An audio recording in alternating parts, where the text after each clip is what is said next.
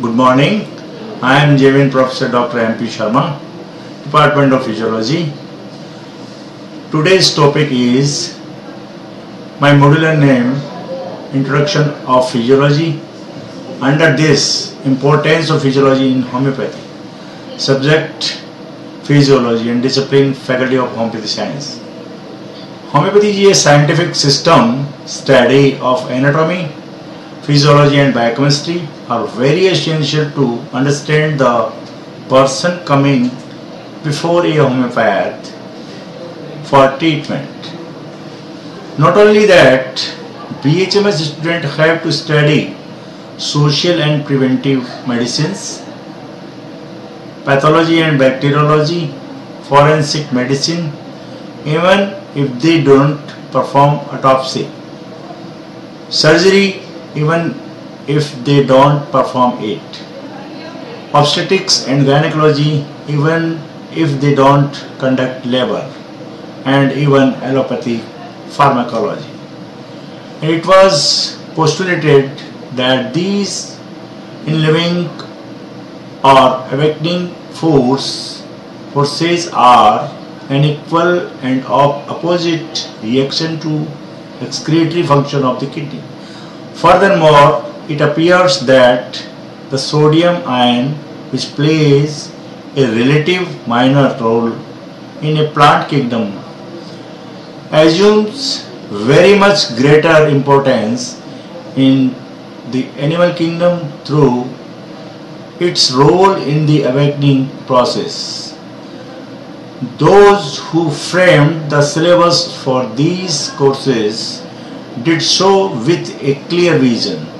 In some recent discussion at the Royal London Homeopathic Hospital, the idea was put forward that the kidneys and adrenals acting the acting in concert provide the mechanism of the awakening forces to manifest in the physical body and these awakening forces are considered as a function of the astral body by the anthroposophical school. We know the example, we know for example that the sodium ion plays an important part in neurological function and neuromuscular transmission as well as cardiovascular function. The adrenals and kidneys are responsible for the maintenance of the electrolyte and acid-base balance and therefore should be great importance in the functions of the astrals as well as the vegetatives or etheric function. Potassium is the predominant cation of vegetative functions, hence its preponderates the plant kingdom and intracellularly in the animal kingdom. If one studies the homeopathic materia medica critically, it becomes clear that the idea that homeopathic prescription prescri prescribing based solidity on toxicologically studies are proving in occurrence. It appears that many prescribing indications are based on the observation that a given remedy is same. To benefit patient with certain sometimes ill-defined group of the symptom and characteristics which are given prior to pride of place as mental and general symptoms. It seems like therefore that many of these symptoms are not toxicological phenomena but reflection of underlying pathophysiological disorder which empirically improve when a particular remedy or group of remedy is given. Furthermore, since the higher potency do not apparently, indeed it is common prescribing practice to give the higher potencies on constitutional ground and the lower potency for local symptoms with gross organic changes. It was therefore felt worthwhile to, to, to look at adrenal physiology and pathology in the light of the some these ideas and see if there is any possible relationship between the non-diurnal variations of adrenal function and various homeopathic remedies particularly with regards to time aggravation and the remedies considered here are the Proteus group of the include Natrum mur, Conium, Cuprum, Ignatia and Secale Chamomilla, the Bacillus number 7 groups which is mainly composed of kali salts in conjunction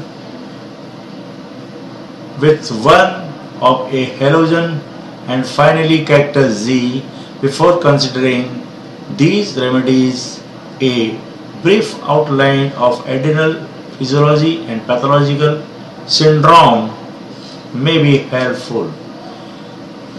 Intermediary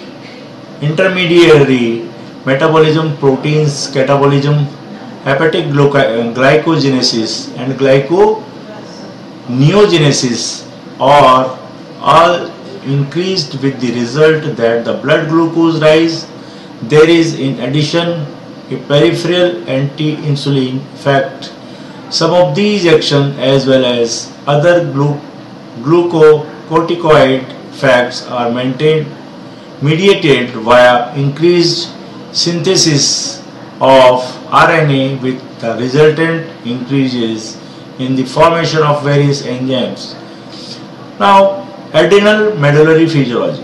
The adrenal medulla is in effect a sympathetically sympathetic ganglion in which the postganglionic neurons have lost their axons and become secretory. Adrenals is the major catecholamine excreted noradrenaline. Noradrenaline is also excreted but in much smaller quantity. Most of the circulating noradrenaline is secreted by sympathetic nerve ending. The medical tradition of homeopathy has been separated from the conservation conventional science for a long time. Conventional scientific wisdom uh, dictates that the homeopathy should have no effects above placebo but experiments on ultra high dilutions of solute together with some clinical data suggests the intriguing possibilities that it might do in some circumstances circumstances to do to today an osmotic process between discipline previously seen as in conflict is facilitated. Because over the last few decades homeopathy has initiated the method of current medical science and a substantially number of experimental studies at molecular, cellular or clinical levels are available. One area of dialogue and common progress is the is that of inflammation and immunity. Probably because these are closely related to the traditional vital force of the body self is body self healing power. In the series of the paper, we review the histological historical origins of the homeopathy, the laboratory and animal models related to the field of the immunopharmacology, the clinical evidence in favor of the against the use of the homeopathy in the inflammatory diseases and the hypothesis regarding its action mechanism. Finally, we will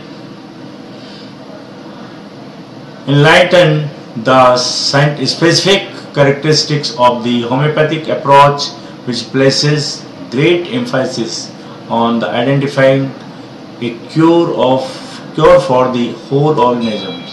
The main principle of the homeopathy is unique, a unique scientific system of the medicine established by the Samuel Hahnemann two century ago is that of similia or smile similarity which means let like be cured by likes. In other words when subsequent is capable of inducing a series of symptoms in a healthy living system low doses of the some substances can cure these symptoms under certain circumstances. Similia similibus curantur during the period of the medicine involved evolved as now never before and in homeopathic theories and pharmacopoeias have also been scientifically investigated albeit slowly with the considerable delay in comparison with the, those conventional medicine. However, the fun fundamental nucleus of the homeopathy has been little discussed, similarly frequently considered unscientific because the statement of the Hahnemann or other homeopaths are not supported by documentary proof. A various principle of the similarity, Hahnemann as a scientific Hahnemann homeopathy, various homeopathic innovations such as electrohomeopathy, and various type of the alternative therapy is included.